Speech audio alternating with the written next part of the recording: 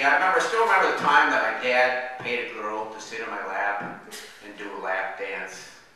Yeah, wasn't expecting that, especially during church.